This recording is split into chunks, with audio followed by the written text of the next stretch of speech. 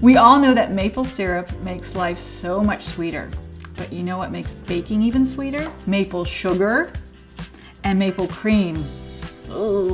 It's a one-to-one -one swap, this maple sugar, for granulated sugar. And during the holidays, this is what I use. It makes everything buttery and caramelly and mapley. In other words, it makes it perfect. And today I'm gonna make my favorite maple bundt. And so I'm gonna start off with two cups of granulated maple sugar. And then to that, I'm going to add two sticks of unsalted room temperature butter. And we're gonna start creaming until it's light and fluffy. Now, we're gonna add the eggs one at a time.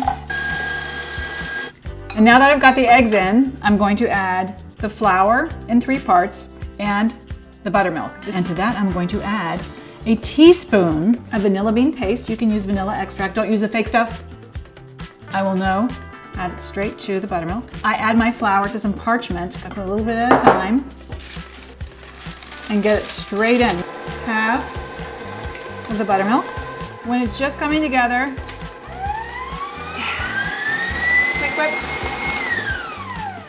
Now it's all come together into a delicious batter. And we're ready to fill our bundt. I'm going to fill it about three quarters of the way up, which means that you can make some snacks with what's left.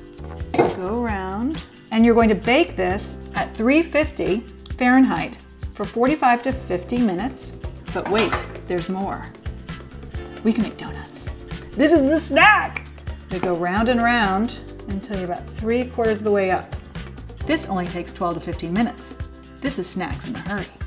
My bundt is out of the oven and the house smells of delicious maple. And I have half a cup of maple cream in my little jar. And to that I've added two tablespoons of cream and I've just stirred it up really well.